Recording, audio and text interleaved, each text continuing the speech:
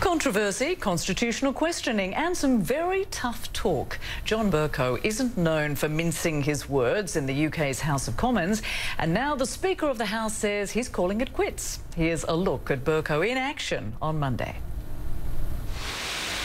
It's about doing what Parliament wants, which is what most people would expect their elected Parliament to do. I don't require any help from somebody chuntering from a sedentary position in evident disregard for the procedures of the House and the purport of the inquiry of the Honourable Gentleman.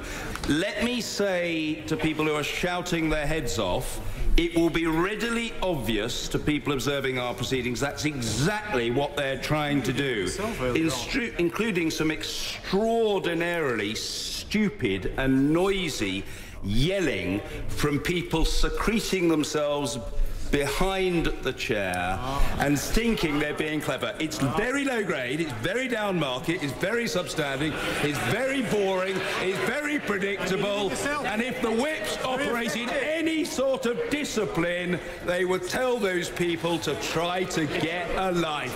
Order! Order! Order, Mr. Philp.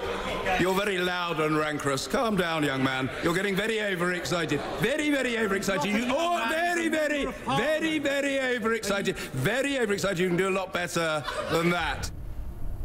So you get the idea there, and CNN's Bianca Nobilo sat down with Speaker Bercow recently for an interview. She started by asking him about the different roles involved in being Speaker and the legacy he wants to leave behind.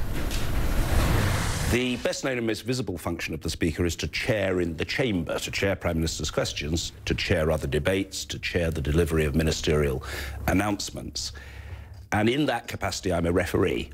If the Speaker's the sort of person who is going to be cowed or intimidated by a ministerial rant or a letter sent by way of complaint, well, that person isn't fit to be Speaker. So I hope I always treat people with respect, but I'm not going to be intimidated by some moaning minister in any government. What do you think are the greatest challenges that you face? There is a limited amount of time. You can't choose every topic. I have procedural advisors who guide me what needs to be aired, what can be further teased out of the government if it's selected. Does an amendment, let us say, have a large number of signatories? And if so, that might make it worthy of selection. So those are challenges. I wouldn't say that they're fiendishly difficult or complicated, but they absorb one's energy. What can you do in your role as Speaker if the public are feeling disillusioned or perhaps disenfranchised by divisive politics? I suppose I would just encourage members, insofar as they need encouragement, to do what they think is right in terms both of voice and of vote. It's not for the Speaker, let's say in the context of Brexit, to prescribe one route or another. And I think the record shows that I've always been particularly keen, for example, to give a voice to the minority or dissident voices in the House of Commons rather than, in any sense, to side with the majority. I think the Speaker's role is sometimes just to stand up for the institution of the House of Commons and the principle of parliamentary democracy. There is a, a brighter spotlight than usual on Parliament at the moment. Does it concern you that the impassioned debate and inability to find consensus might be affecting how Parliament's seen around the world?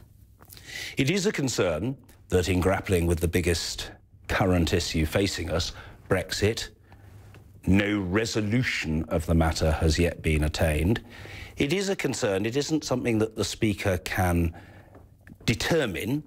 The Speaker can try to help the House to decide on such issues and give it the freedom to breathe, if I can put it that way. When the Commons is at its most boisterous, even raucous, how difficult is it to keep control?